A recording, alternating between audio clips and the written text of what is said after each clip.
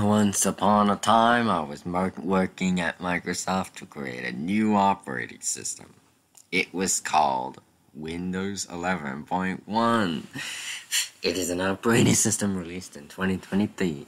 It was meant to be an updated version of Windows 11, and the operating system was meant to revolutionize the era of operating systems. Originally, the most going to be the most advanced and user-friendly operating system of all time. Well, there was a time when I was in bed, and I had a dream about me working on Windows on the Windows 11.1 project. It was known under the code name Moon Valley, just like how Windows 11 was codenamed Moon Valley.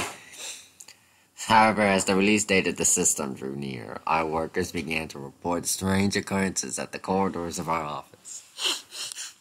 I mean, files would disappear and then reappear in new places and screens would often flicker, and this computers would randomly turn off or on by themselves, and computers would sometimes freeze and crash, and while strange whispers were heard coming from the speakers, as like as as like as if the operating system was talking to us. Despite our best efforts to stop the glitches, we couldn't fix them right away, and so Windows 11.1 was released with these glitches. That's when things started becoming very weird. Users began to report strange occurrences on their devices while using Windows 11.1, the same ones that employees were reporting. Like I said earlier, files would disappear and reappear in unusual spots. The screens would often flicker.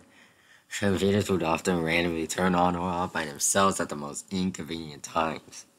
Computers would sometimes also often freeze or crash and strange whispers were heard coming from the speakers, like as if the operating system itself was talking to us, even if the computer was turned off. Meanwhile, the most disturbing reports came from users who reported seeing a figure that resembled Big Bird from Sesame Street, uh, just standing on their desktop. However, his feathers were green instead of yellow, and his legs were dark green instead of the usual orange and pink. And whenever users try to click away from the screen, Big Bird will follow their cursor no matter where it went. I had previously encountered the same green Big Bird being two years prior to Windows 11.1's release. And so I worked hard with our team to create patches for the glitches.